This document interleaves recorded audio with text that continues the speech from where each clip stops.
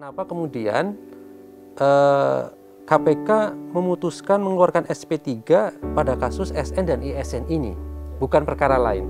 Ya, sebagaimana diketahui, eh, kewenangan KPK untuk menghentikan penyidikan ataupun eh, penuntutan sebagaimana diatur di pasal 40 itu sebenarnya memang secara material tidak memberikan eh, dasar-dasar material tetapi hanya memberikan alasan formil yaitu kalau sudah memenuhi dua tahun ke atas begitu ya, yang proses penyelidikan, penyidikan dan penuntutannya sudah lebih dari dua tahun memungkinkan atau dapat dihentikan. Eh, sementara kenapa pilihannya kepada kasus eh, Samsul Nur Salim dan juga Ici Nur Salim?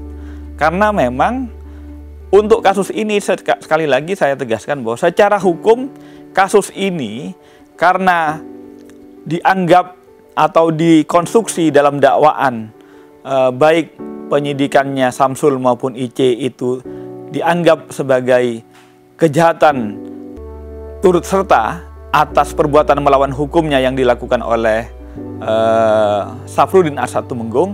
Sementara sebagaimana diketahui pada tahun 2019 telah ada putusan kasasi pada Juli 2019 yang mengatakan bahwa perbuatan Saf Safrudin Asad Tumenggung itu terbukti merupakan e, perbuatan.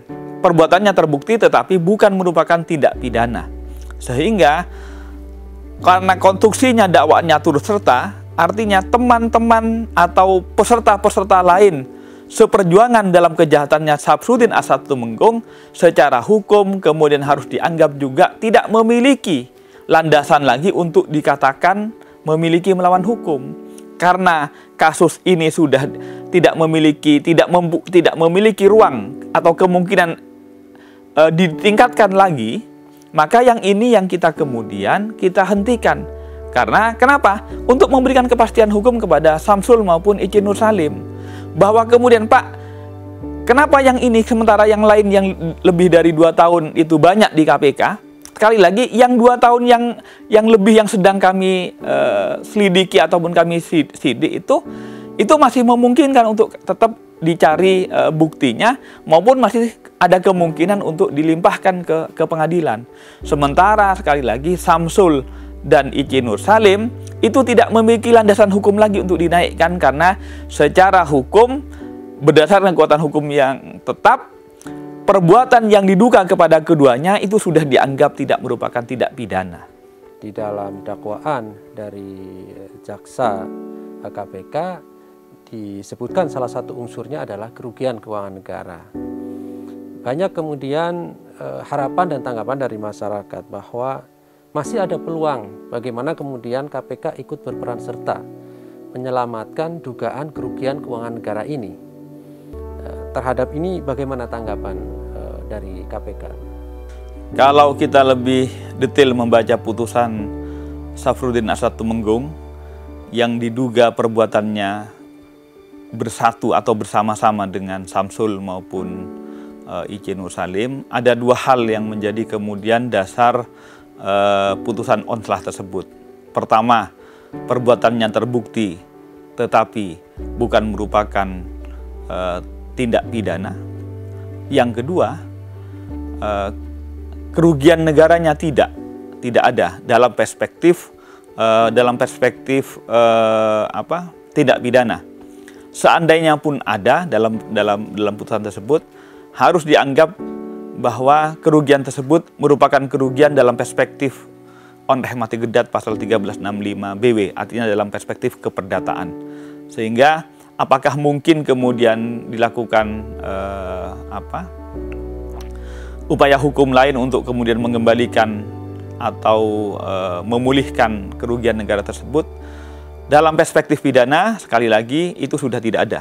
Tapi kalau dalam perspektif perdata, kalau memang eh, apa perbuatan Samsul maupun Icinul Salim dalam perspektif pada saat melakukan uh, mispresentasi itu sebagai bagian dari uh, unsur dari perbuatan melawan hukum sebagai 1365 itu tentu memungkinkan tapi pelaksananya adalah uh, dari jaksa negara yaitu teman-teman dari Kejaksaan Agung Republik Indonesia.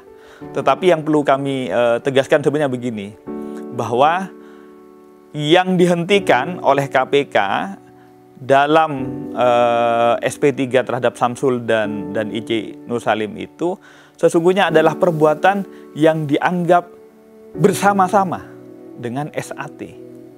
Kalau ternyata kemudian baik KPK ataupun pihak uh, apa publik kemudian bisa memberikan kontribusi baru bahwa ternyata ada perbuatan lain selain perbuatan yang dinyatakan dan sudah diputus oleh kasasi ini, maka sesungguhnya ini masih terbuka.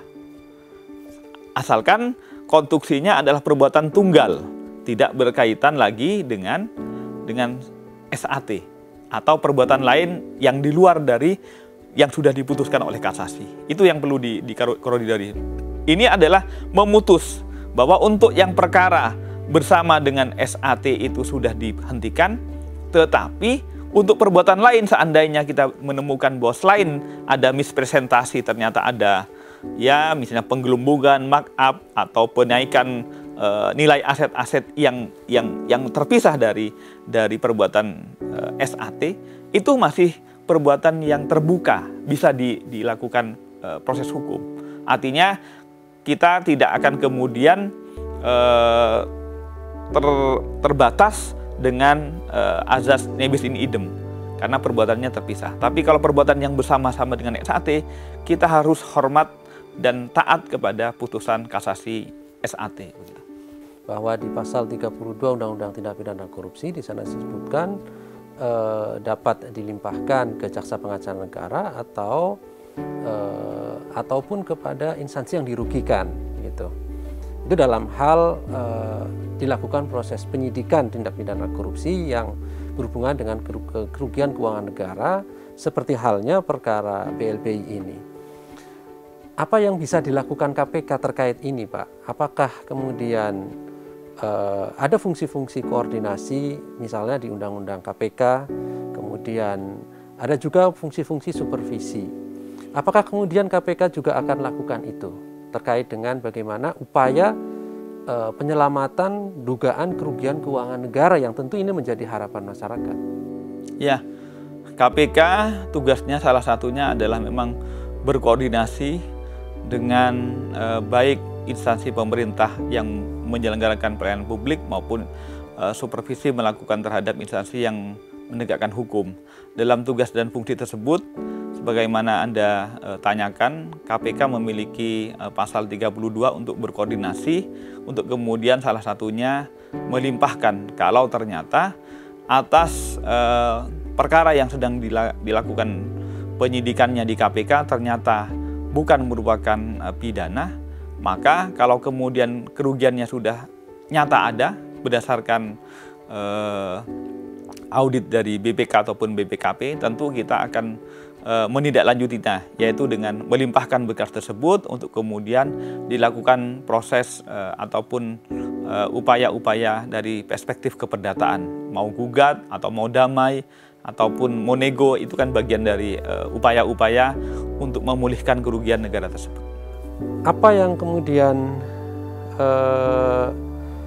menjadi rujukan KPK ya dalam melakukan tindakan-tindakan eh, berikutnya atas eh, SP3 ini.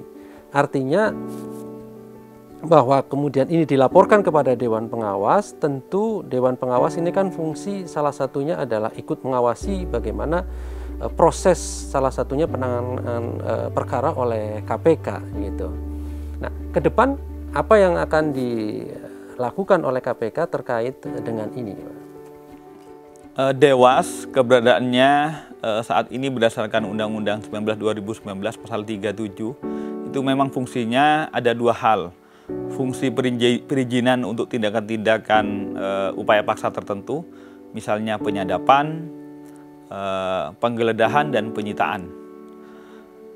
Sementara untuk upaya yang lain dalam penegakan hukum, Dewas hanya memiliki fungsi pengawasan.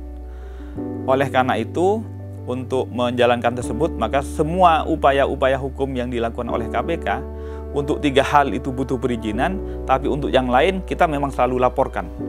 Dan kemudian eh, Dewas berdasarkan kewenangannya di pasal 37 tersebut berwenang untuk kemudian melakukan pengawasan kepada KPK apakah kemudian eh, pelaksanaan-pelaksanaan eh, mulai dari penyelidikan sampai penuntutan itu sesuai atau tidak termasuk objeknya dalam hal ini adalah eh, penghentian atau SP3 ini penghentian penyidikan atau SP3 ini memang adalah wewenang dia untuk kemudian e, mengawasi apakah comply taat ketentuan dan syarat atau tidak begitu.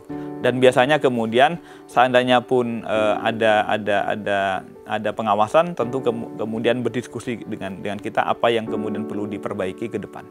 Itu tetap akan kami e, lakukan dan seandainya pun e, dewas kemudian akan mempertanyakan e, alasan alasan materialnya apa, proses apa yang sudah KPK lakukan, tentu sekali lagi kami akan akan terbuka dan laporannya sudah kami sampaikan. Sekali lagi tentu KPK akan welcome terhadap proses pengawasan yang akan dilakukan oleh Dewan Pengawas.